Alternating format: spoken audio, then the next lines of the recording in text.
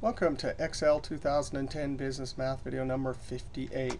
Hey, if you want to download this workbook, Excel 2010 Business Math Chapter 7, click on the link below the video. Hey, in this video, we're going to start on the sheet Series Discounts. Last video, we saw how a business might get a catalog. So Kite Flight buys boomerangs from a company named Gel Boomerangs. And Gel Boomerang sends out this catalog, the name of the boomerangs, the list price, and last video we saw a trade discount. Now last video we saw uh, for the Majestic Butte, right? We took the retail and we this trade discount, so we took a discount of this and we calculated the net cost or the wholesale cost. But that was with a single trade discount. Now we want to talk about what happens when there's more than one trade discount.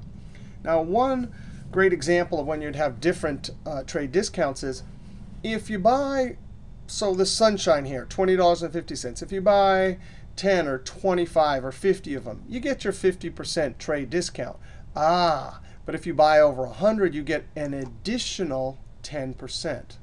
Right? And so series discounts are often shown like this, 50 slash 10. And it just means we'll calculate the 50% uh, trade discount on this, and then we'll add another 10% on top of that. All right, let's scroll down here.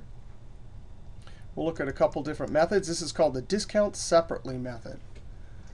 $20.50, that's what the Sunshine sells for list, or the suggested list. If we had a single series discount, we get 50%. So let's go ahead and calculate this. We did this. This is what we did last video. List price times the complement of the trade discount. So equals round. We're dealing with dollars here. The list price or suggested list times the complement. Comma 2. So if we have just, um, we buying, if we are buying 50 of them, we pay 10.25. Ah, but now, if we're buying 100 of them, then we get an additional 10%. So now we take this and multiply it by the complement of the second trade discount. And that'll give us our net cost or our wholesale cost. All right, so we take the amount after the first discount times the complement of the second trade discount. Comma 2, close parentheses. This is the dollar amount, so we're going to round it. $9.23. So if you're buying 100, it's 9.23. If you're buying anything less than that, it's 10.25. All right, what about the quad? $30.25 with a 43% trade discount.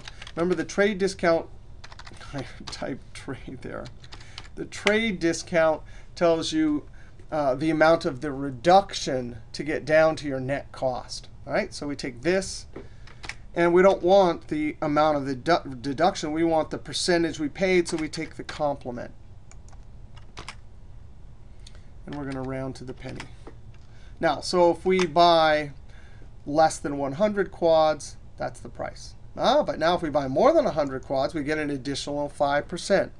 So when we multiply, we take the amount after the first discount times 1 minus the complement right? What's 1 minus 5%? 95%. So we're going to pay 95% of that. That's our second trade discount. Now notice we're multiplying in succession. You would never add these. You would never add 43 and 5, get 48. You would never add 50 and 10 and get 60 to do series trade discounts. All right, now let's take a look here. The first trade discount gave us a net cost, where we, we took list price times the complement of the first trade discount, right? And here, we actually took that amount and multiplied it by the complement of that. Well, what if we just took list times the complement of the first one and threw it right in there and then multiplied by the complement of the second one? All right, that's going to be our next method, the net cost equivalent net cost equivalent. So net cost equivalent, well, you just take the complement of the first one times the complement of the second one. We'll calculate that individually, and that'll tell us the percentage of the list price that we paid or the net cost equivalent. Now, we can take that one step further, um, and we'll do that in just a moment. But let's calculate this net cost equivalent. Again, complement of this times the complement of that. And do not round this one. This is not the dollar amount. So I'm going to take complement of 50%. And if I enter that, well, I mean, that gives me 50%. And what's the complement of 10%? 1 minus 10%, 90. So we're going to take 90% of this 50, which is the complement of that, right? And multiplying the two complements of the two trade discounts will give us our net cost equivalent. That means we're going to pay 45% of this list price right? So if we're buying 100, we're gonna, not going to pay 50%. We're going to pay 45%. Remember, don't add these. It's multiplying. So our net cost, our net cost is going to be list times net cost equivalent. There's the, the list, the retail price, times the percentage we pay, or the net cost equivalent. This is the dollar amount, so we have to round. 923. Oh, yeah, there you go. That's the same amount we calculated earlier. Now, we can mash these two up, no problem, because the reason why is notice it says list price times net cost equivalent. Well, instead of writing that, I can just take these two things and put it right there. And so this, that's this. And again, if you have a bunch of calculations in a column and you're calculating them, it's nice to have one single uh, form, a single formula that'll fit in a single cell. All right. So I'm going to use the round function.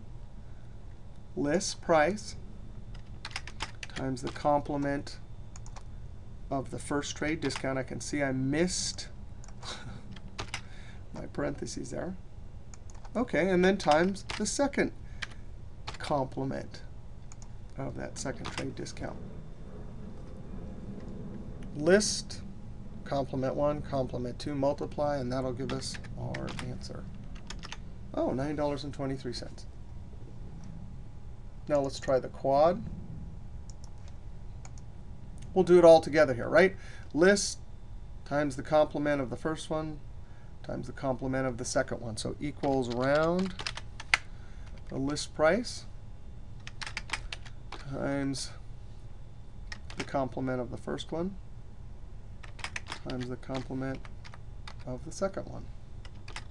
Two complements in a row. Isn't that nice? Two, round to the penny. This is the dollar amount. So the net cost is $16.38. So since we're buying flat out buying 150 of them, that's going to be our price, 1668. All right, now what about this? Whoops.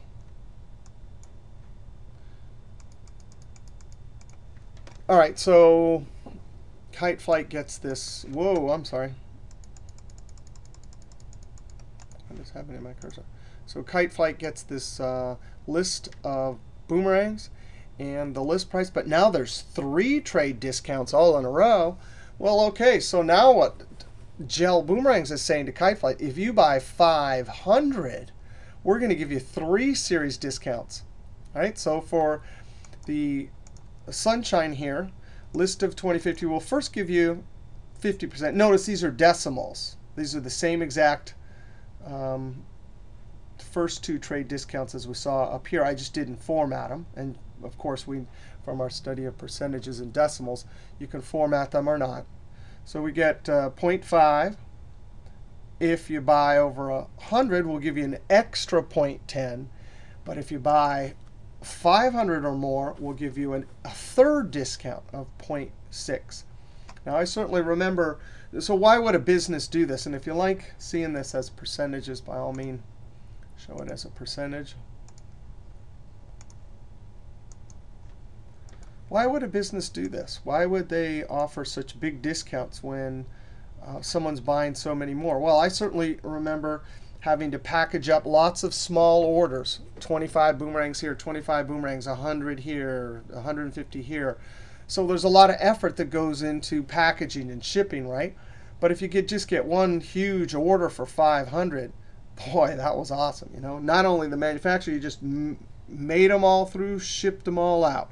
So certainly the business can uh, afford to offer some discounts for large quantities sold. All right, let's see how to do this. Uh, you can imagine in our example we just did just a second ago with two trade discounts, we did list times complement times complement. So with three, you just go list times complement times complement times complement. All right, let's first calculate our net co cost equivalent, and it's just the complement of the three trade discounts. So the first trade discount times the second the complement. Ooh, I did uh, 9 instead of shift 9 times the complement of the third. In essence, you're saying uh, take a 50% reduction, calculate the amount, then take a 10% deduction off that, which would be point, uh, give me 90% of that. And then finally, once you calculated that amount, you say give me a 94% of that one, right? When you multiply those all together, 50% times 90% times 94%, I think, you get 42.3. Now, if you want to see that in action, you can go up to the Formulas tab and Evaluate Formula. Right, and then you can click Evaluate or Enter and watch this go.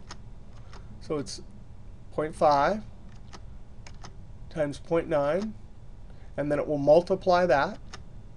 Oh, 45. That's what we got in our last um, example where we had 2. And now you're going to get the complement of the 6% trade discount. That's 94. So 94% of that. And you get 42.3%. And that'll be, I'll click close here. That'll be of the list price. All right, so equals, and don't round this. But we're dealing with the money part now, so we're going to round that. Either one, this times that or that times that, net cost equivalent times the list, comma 2. So $8.67 for that sunshine when you buy over 500. Finally, the quad, we can put it all together. We just take the three complements times the list price.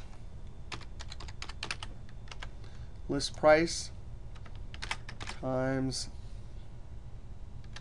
1 minus times 1 minus the second trade discount. I did that 9 again, boy. 91. That'll mess up your formula.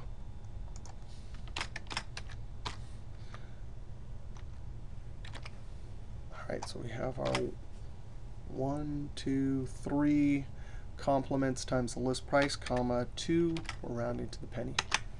1392 for that quad. So uh, list of 30 dollars and 25 cents. But if you buy over 500, one, two, three, boom, you're going to pay 13.92. All right, so that's a little bit about uh, series discounts. In our next next video, we'll see how to uh, complete an invoice. See you next video.